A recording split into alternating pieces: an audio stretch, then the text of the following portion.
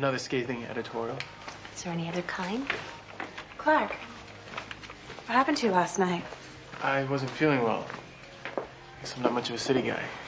You can take the boy off the farm, but you can't take the farm out of the boy. Sullivan!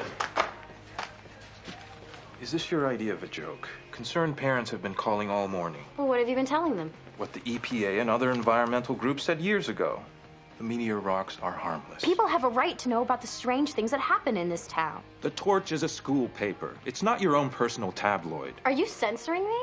I'm requiring you to do your job, which is to report on relevant school events, sports, dances, clubs. I'm relieving you of your duties.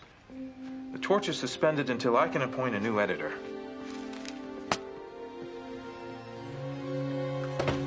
Wait, what just happened? I think you were fired.